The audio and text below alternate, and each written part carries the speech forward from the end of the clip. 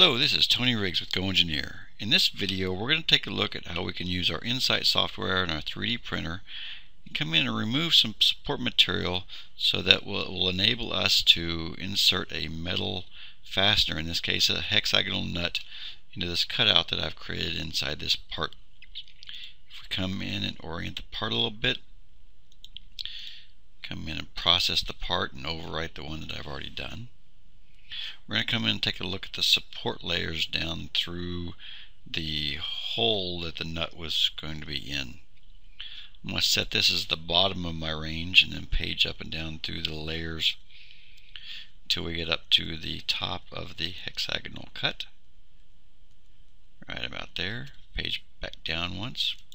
Set that as the top of my range.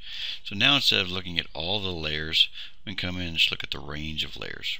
Now depending on the geometry we may be able to go in and uh, remove support material all in one fell swoop. It just kind of depends on uh, the geometry.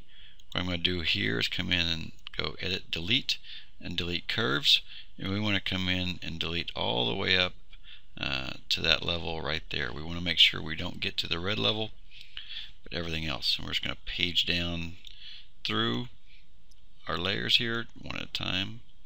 It doesn't take too too long. We can get get through it fairly quickly.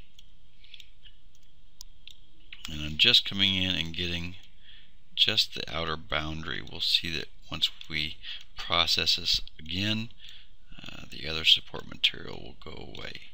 But I always like to come back and check and make sure that I uh, get everything. Now we're just in the hole that goes down to the bottom.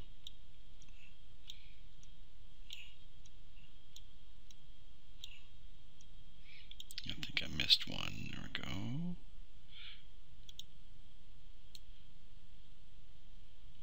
Say OK to that and go back down to the the bottom. Will page up. A few more layers.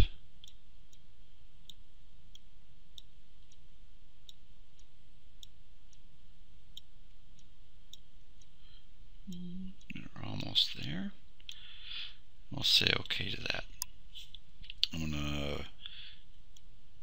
There's one more I missed. So those guys are going to go away eventually once we reprocess this thing. We're going to go ahead and page up while we're here to the top of the hexagonal cut. Right there. One more up. Toolpaths, insert pause. So this inserts a pause at the beginning of this layer. So we'll say OK to that. And we're going to come back in and reprocess the layers and see what we've got. Back to a top view, page down, page down, all the way down through this just to make sure all the support material is missing. Now I can see I've missed one little layer there. Delete that. It's always nice to come back in and uh, double check.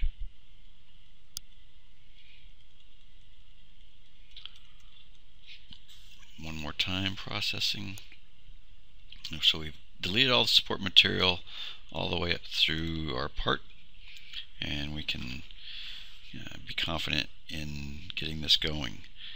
Now the first couple times that I've done this, I was kind of worried about you know sticking a piece of hardware in there. You just got to make sure that you get it nice and uh, flush with the top of the layer where you have the pause.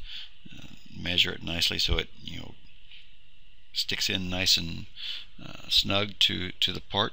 Uh, but actually has a nice um, white paper on adding uh, metal inserts. There's a couple things that they like to, to talk about. Um, simple spray to use. What they have us do is go in and use some wax and grease remover to, to clean the part and then a fairly simple, they use a Rust-Oleum painter's touch uh, clear gloss acrylic to spray onto the top of the in this case washer that helps uh, promote adhesion of the model material as it lays down also, they talk about you know adding a, a drop or two of uh, super glue to hold the part in place so it doesn't bounce around on us as we get started. that's some interesting things we can do in applications for our 3D printer where we want to put in some metal inserts.